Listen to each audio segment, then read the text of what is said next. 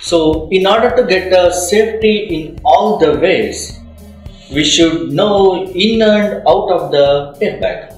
If you are thinking that airbag is a single component and just attached to steering wheel in order to operate, let me clarify you.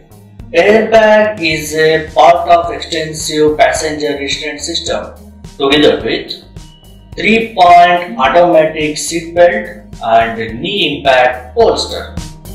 Airbag uh, consists of the following components the sensors, control and the diagnostic units, the wiring system, and the airbag module.